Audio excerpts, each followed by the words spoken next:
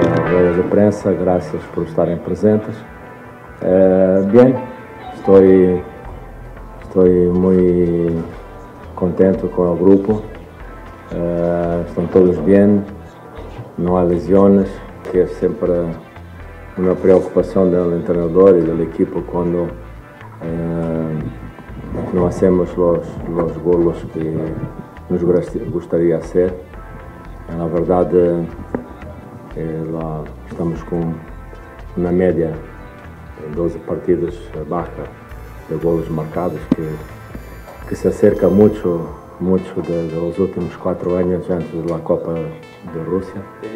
Los números son los mesmos antes de Rusia, quatro anos, 1.16, agora estamos 1.16. Estamos haciendo dar tranquilidade aos jogadores, confiança, eh, pero também responsabilidade de ser melhor.